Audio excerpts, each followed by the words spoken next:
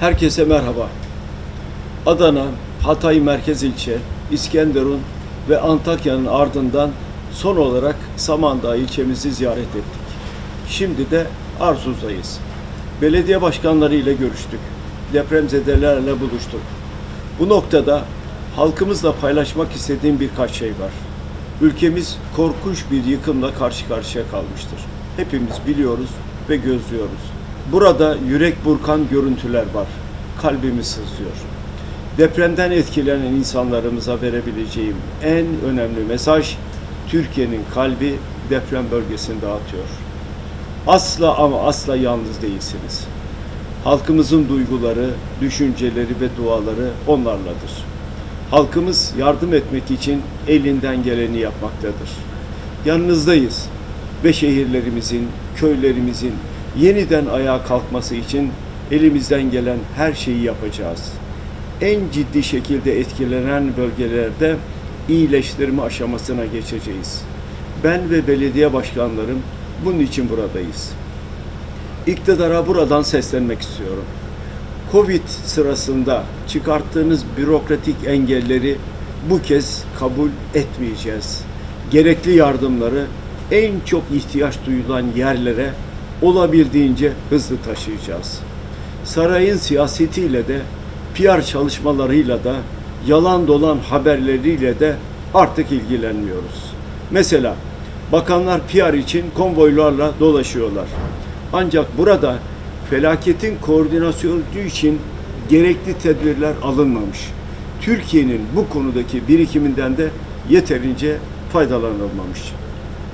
Bu felaketlerde kamu kurumlarının, belediyeler ve sivil toplum kuruluşlarıyla işbirliği önemli. Ama belediyelere karşı siyasi bir tavır var. Birçok sivil toplum örgütü de baskı altında yok edildi. Askerimiz de yeterince sokulmadı. Dün sahada 3500 asker vardı. Doğal bir arama kurtarma personeli olan madencilerimizin sevkinde maalesef çok geç kalındı. Özetle her konuda sınıfta kaldıkları gibi bunda da kaldılar. Devlet nasıl yönetilir bilmiyorlar. Vallahi de bilmiyorlar, billahi de bilmiyorlar. Çok ne söyleyeyim. Bu sürecin başlıca bir sorumlusu varsa o da Erdoğan'dır. 20 yıldır ülkeyi depreme hazırlamayan bu iktidardır. Onun için kendisiyle görüşmeyi de asla düşünmüyorum. Bu meseleyi asla ama asla siyaset üstü de görmüyorum. Bu duruma bizi onun siyaseti getirdi. Deprem vergilerini çetelere yedirttiler. Hani nerede o para? O paralarda yok. Ömrü boyunca devlete her biçimde vergi veren halk ihtiyacı olduğunda devleti yanında göremedi. Varsa yoksa seçim, varsa yoksa saray. Bu ülkeyi ne zaman batırsa yanımda olun çağrıları yapıyor. Hadi oradan. Seninle işim olmaz. Olmayacak da. İnsanlarımızın halini gördükçe öfkem artıyor. Birileri bu ülkenin kaynaklarının nereye harcandığının hesabını vermek zorundadır. Onun için birilerinin felaketi yumuşatma çabalarına destek vermeyi asla düşünmüyorum. Belediye başkanlarımıza söyledim. Kaynak sağlamak için ellerinden geleni yapacaklar. Bürokratik engel mi koyuyorlar? Yapın, dinlemeyin. Bu halka ekmek, battaniye bulmak için tutuklanmanız gerekirse tutuklanın. Ağız dalaşı, protokoller, bürokrasi bitti. Çünkü söz bitti, söz. Milyonlarca insanımız sokaklarda. İmkanı olan gece arabasında uyuyor.